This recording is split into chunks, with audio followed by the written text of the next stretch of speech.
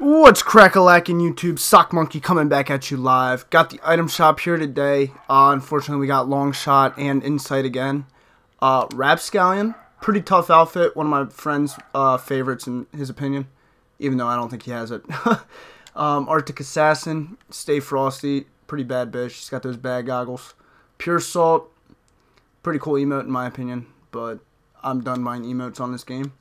Uh, Cloud Strike for 1200 Epic Glider. Pretty tough. Remember, this was definitely one of the first like reactive uh, camo gliders that came out. Glow stick.